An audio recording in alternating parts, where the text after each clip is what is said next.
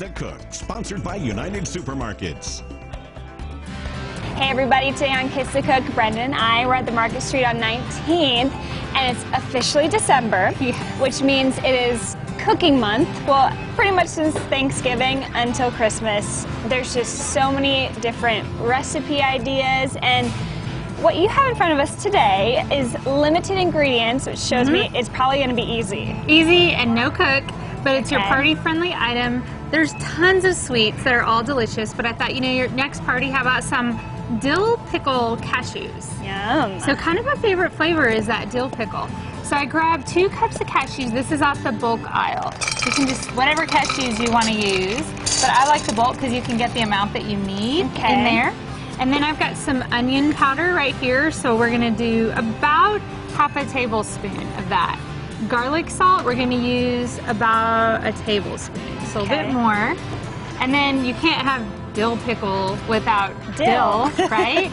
and so we're going to use about a teaspoon. This mm. is just dry dill. You can use fresh that. dill if you want, but this is easier. It smells really good. And then we need something to keep all that on there, so we're going to use pickle juice. Huh. Now, I, you can get the shot of pickle juice. A lot of athletes like this, so it's usually by the Gatorade and that type of sports drinks. I have never seen this yeah. before. Or if you have pickles in your refrigerator, use the juice off of there.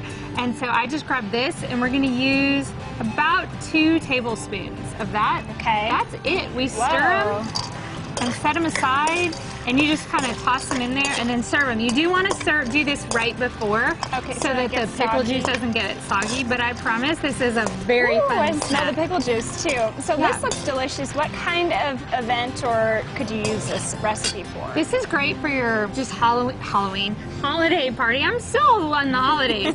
on the holiday party, um, you might want to think about serving it, or it's a great snack to go before a party. Always take something healthy with you so you have that so option. So you fill up on nuts instead of Well, and this is such a, a, great source of like iron. This is actually the, one of the nuts that's a great source of iron. So you're getting some great nutrition, some protein, Yum. and a delicious taste as well Yum. in there.